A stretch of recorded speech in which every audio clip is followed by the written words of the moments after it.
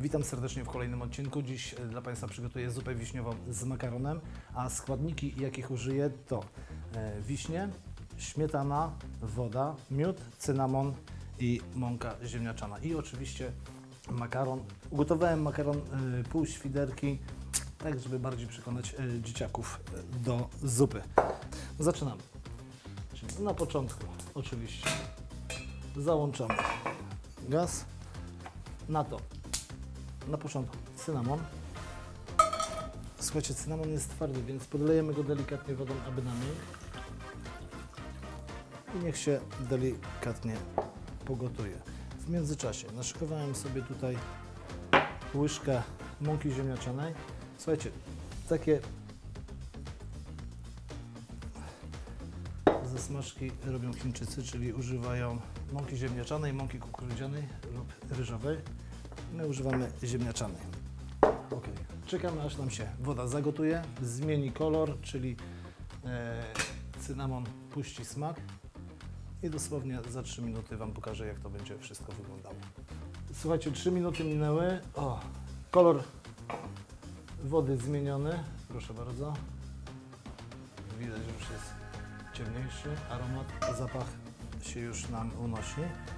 Także następną rzecz dodajemy miód. Ja lubię dosyć słodki, także dam trzy łyżki. Tutaj możecie użyć miodu, syropu e, cukrowego, syropu klonowego, ewentualnie cukru według uznania. Również pamiętajcie, żeby nie przesadzać z cukrem, a najpierw dodać, ewentualnie dołożyć.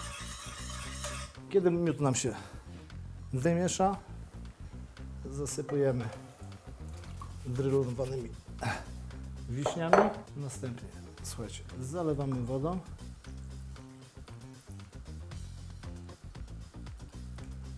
I czekamy, aż się nam zagotuje.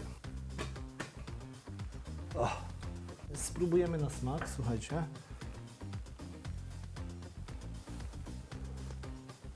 A, wiśnie są cierpkie, ale powiem szczerze, że jak dojdzie śmietana, trzy łyżki miodu, idealnie czuć cynamon, szczypta soli dla równowagi smaku.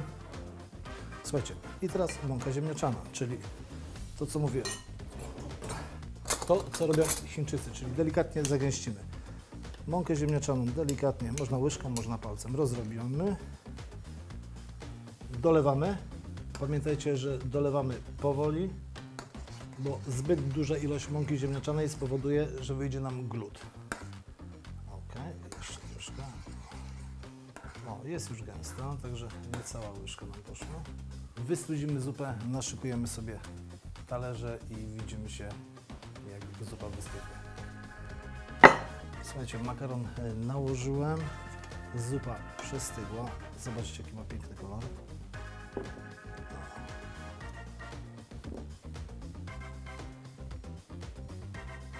I do tego łyżkę śmietany kwaśnej, czyli dajemy łyżeczkę śmietany. O. I coś zielonego, czyli parę listków mięty. Mm. Prawie jak mojej babci. Jak to się mówi, babcia robiła lepszą, bo wtedy nie trzeba gotować, także jak ktoś gotuje, lepiej smakuje. Jeżeli byście chcieli zobaczyć więcej przepisów, zapraszam Was na kanał YouTube Na Szlaku Smaku lub do Polomarketu, gdzie znajdziecie przepisy na ulotkach. Także do zobaczenia, cześć.